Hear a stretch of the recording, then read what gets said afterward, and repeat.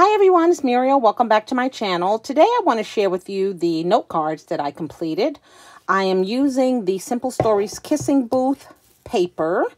Um, so I made nine, three, six, nine cards. And um, I just cut them out and embellished them a little bit. So I'll show you each, you'll see each um, cut apart and then you'll see how I altered it. So here's the first one here, Hugs and Kisses. These are about a 4 by 4 So after I layered it with one sheet of paper and then put the card, matted it on a um, card base, it made the card about a four and a half or something like that. So then I made the envelope and um, they're all the same. I'm using that paper that I had so many sheets of um, from Crate Paper with the lips and the outside was this black and white um, kind of like a screen look. And then two of them were a little bit bigger, so I'm using the Gal Meets Girl, two sheets of that paper um, for those two cards. So here it is. Hugs and Kisses is pretty plain. So I didn't do much, much, but I did alter a little. I found this arrow in a ephemera pack.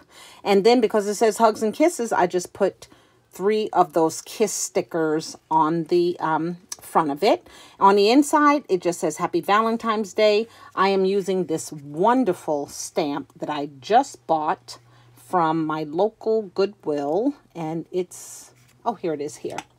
It is a Hero Arts stamp. And um, I like I like it. I like it a lot. She used a lot of it. Um, or used it a lot. But um, I need to go over this little part here because it didn't press, but nonetheless. And then on the back, I have a variety of different ways I put my signature. So that's the first one. Then this one here, it just says smitten, smitten, smitten. What I did was use some of that rosette trim from my stash cream color. This is a bow. I believe this was from um, the Target spot. And then I have a cute little charm hanging of an angel like a cupid on a garment tag. Okay, same thing. All of them just have the Happy Valentine's Day and on the back with love. Okay, this one here, beautiful pattern with a nice rose uh, selection of flowers. I think those are roses. And I use uh, that banner from the Dollar Spot at Target. I finally got to use this heart chipboard piece. And then I just put this cute little um, green bird on the side. Same thing in the back, just the with love. Okay, this one here has the um, writing, every love story is beautiful, but ours is my favorite and has a beautiful heart background. I use another one of those chipboard pieces to kind of make it pop. Just a little um, flower from my stash. And then this is those two hearts, those almost like mirrored hearts that I stuck on the side. Okay, black background and the with love. Okay, this one here, you see it has four Scrabble tiles that spell the word love with a beautiful image of a uh, flower uh, background. What I did with here is I used one of those um, shaker stickers, which I had to uh, glue this down because all of them are coming off. I don't understand why. So I didn't want to try to put the seeds beads back in here. Would have been cute, but I decided not to. And then I just have a uh, mint green sticker that says together. And that took care of that one. Same thing here. And then with the with love. This one here is probably my favorite. Um, I'm using an ephemera pack again from, let me see if I have it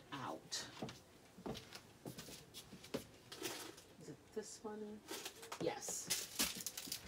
So this is a My Mind's Eye ephemera pack, and I did share share it with you. So you'll see the two girls here. And then um, I used uh, a banner, and then I used, and I don't think it was from this pack because I don't see it. No, okay. So anyway, it just has the XOXOs with the heart. So what I did was covered it up with the two girls in their cute little dresses. I know who I'm going to give this to. That's why I, I, I think it's so sweet. I put one of those um, banner uh, that I had. Sticker says love always. And this little piece here, I thought it was from this ephemera pack, but it is not. And it says love beyond words. And of course that is when you have two sisters holding hands with their cute little dresses. And then the um, I put a uh, heart gem over that uh, existing heart that was there. So that's that one. Happy Valentine's Day on the back. Because it's black, I just cut out a um, scallop circle and then stamped with love. Okay, the next one here, two lovebirds. Nothing odd about that. But what I did was put some diamond stickles on those hearts and then two hearts on their backs and left it like that. Okay, happy Valentine's Day and then the with love. This one here is probably one of my favorites. It's just a mason jar with some hearts in it and a string. So I took some of those um, conversation hearts and just covered them up over these hearts and used a one of the banners from Target, Hello Love, and then one of my bows over that bow. And that took care of that one. Same thing, Valentine's Day, and the back, I use a set of lips. I started out with lips. I was talking to my sister because we're online, and um, she said, just use lips. So I did. I probably did it on two.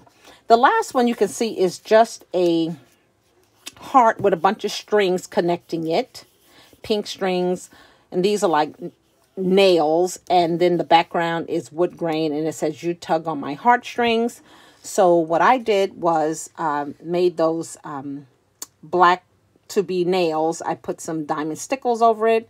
Uh, the the hearts that were on this little uh, banner here, I took off. They were red because they had moved, so you can see where they should have been. I just popped them off and used these glittered hearts here.